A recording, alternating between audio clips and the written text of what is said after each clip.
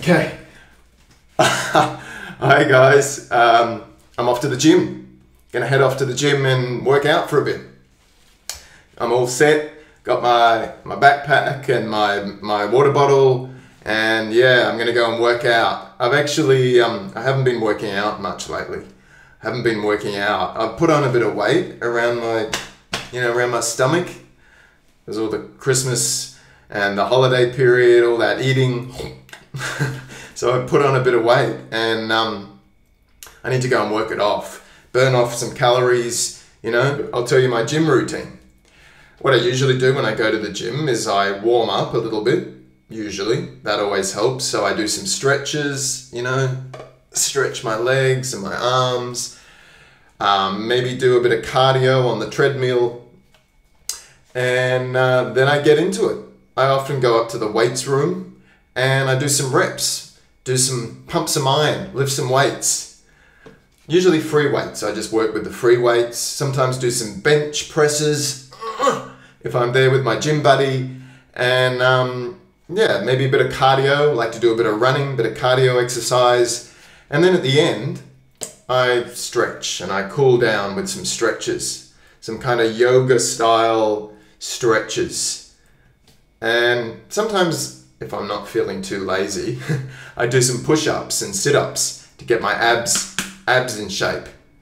So that's my gym routine. What? What's all that mean? English for at the gym. And I'm going to talk to you about what I just said and the phrasal verbs and vocabulary that I used. So in this lesson, you will learn five phrasal verbs, useful phrasal verbs you can use to talk about going to the gym. And also some common vocabulary we use. Let's go. I said I'm off to the gym, which means I'm going to the gym to work out. Maybe you've heard this one, to work out. So that's a very common phrasal verb, which means to simply means to exercise do some exercise and work out. I'm going to the gym to work out.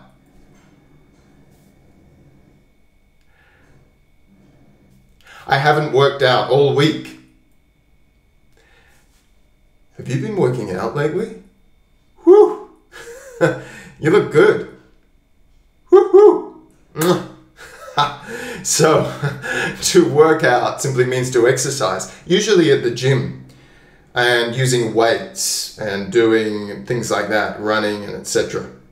Then I said, I've put on some weight. I've put on some weight. So when we gain weight, we get a bit fatter. We say put on weight. Put on weight. And the opposite is not put off. It's just lose weight or drop weight.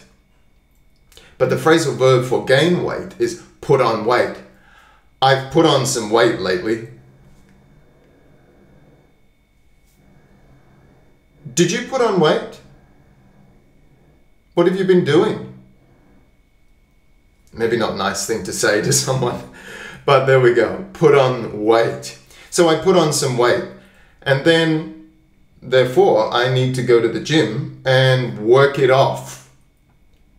The next one work off work off. So you can work off the weight. What does it mean? Work off. It means to eliminate or lose by exercising.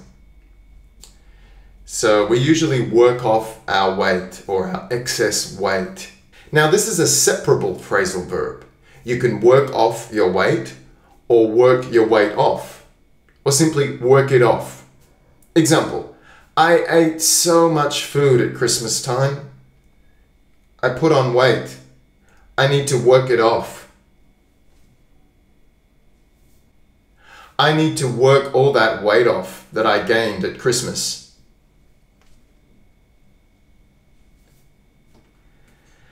So you can see we can separate it like that.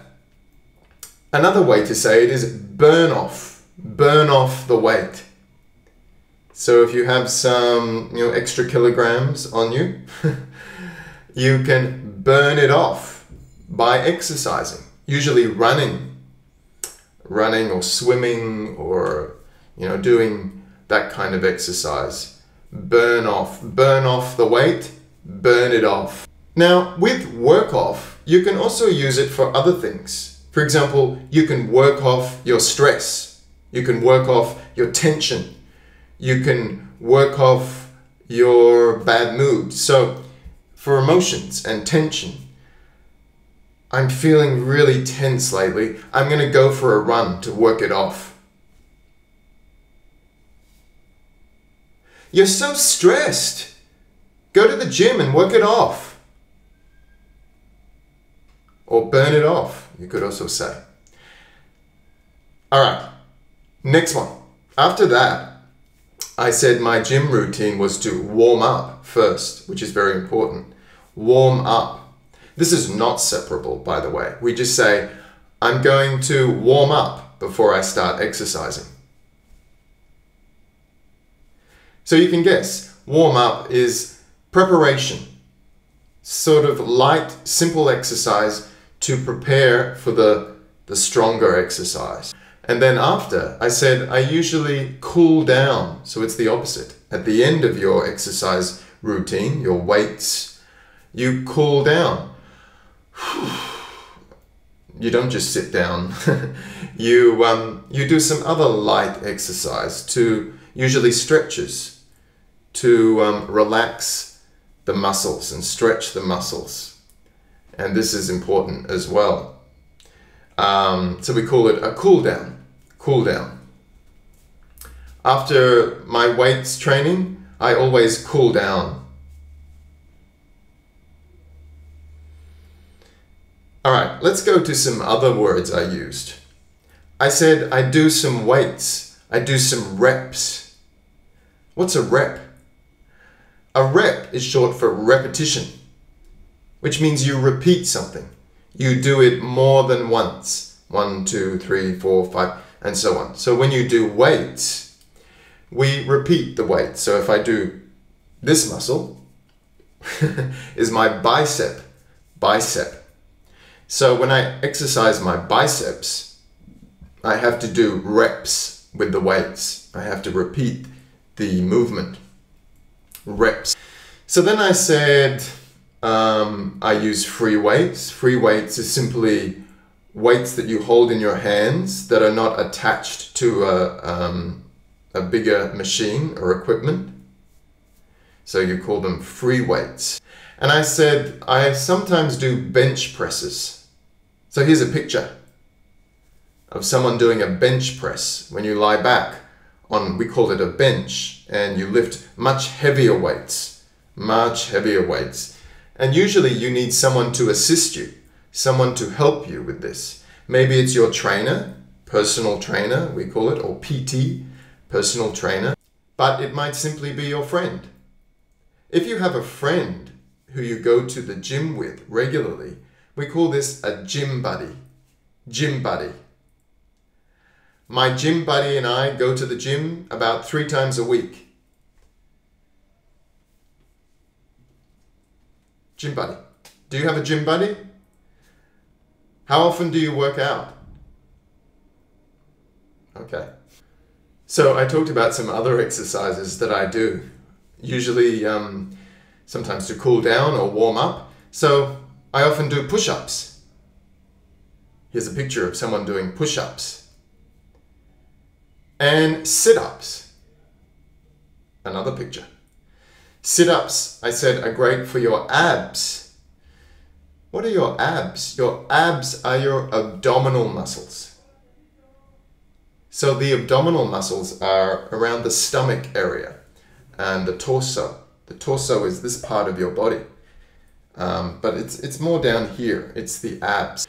So we do sit-ups and of course many other kinds of exercises to work on our abs, to strengthen, we say strengthen our abs. How? okay. Um, all right. Another thing I said is I uh, when I use the weights, I pump iron pump some iron or just pump iron.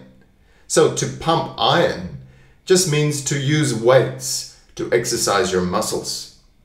Because weights are usually made from iron, iron material. So let's go and pump some iron at the gym.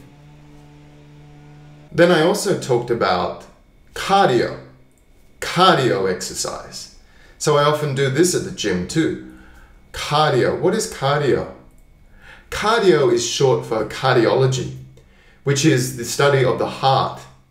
Anything related to your heart and your um, your blood system, how the blood moves through your body from your heart, the pumping of your heart. So we just call it cardio exercise. This is exercise which increases your heart rate, and it's good for burning off calories. Okay, calories are um, calories are weight that you gain. So when you eat certain kinds of food, every kind of food has calories in it, which sometimes makes you gain weight. So you can burn off your calories by doing cardio exercise. So like running, I said that I often run on the treadmill. This is the treadmill at the gym. Doing cardio on the treadmill. All right, there we have it. So there's your lesson talking about at the gym, talking about gym exercise. How often do you work out? Leave me a, uh, an answer to my questions here in the comments. How often do you work out? What do you do to warm up before exercise? Do you need to work off any excess weight? or maybe not. What is your favorite kind of exercise? Weights, cardio, swimming? Subscribe to me for more videos like this. Alright, see ya!